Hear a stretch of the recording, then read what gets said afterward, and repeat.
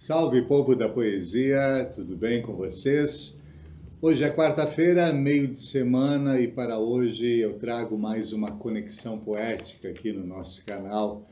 Conexão essa que nos liga com os vários e vários poetas deste imenso Brasil que são pouco conhecidos, poetas que já têm seus livros publicados, poetas que estão a ponto de publicar, já com os poemas selecionados e poetas que escrevem e deixam seus poemas engavetados, de repente, para um dia ressuscitarem de suas gavetas em forma de livro.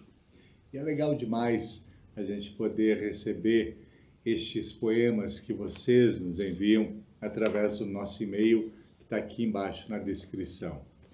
O poema de hoje e o poeta de hoje, principalmente o poeta, já esteve por aqui na nossa conexão é o Lipe Caldas, e você pode conferir o poema que a gente leu do Lipe aqui. E o Lipe está me devendo ainda um e-mail dizendo aonde que ele mora, né? em qual lugar do Brasil ele se esconde. Mas mesmo assim eu trago para vocês este poema que o Lipe nos escreveu e que nos fala o seguinte: Canto versos para muitas fomes escapole uma rima da residência do hálito e desaparece no encrespo manancial do tempo.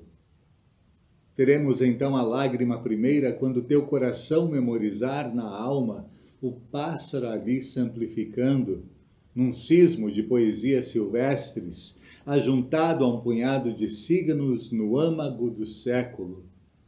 Mas a palavra descasca, amolece como barro, porque o tempo é o príncipe da morte, o princípio do abismo entre o lírico e o desafinado.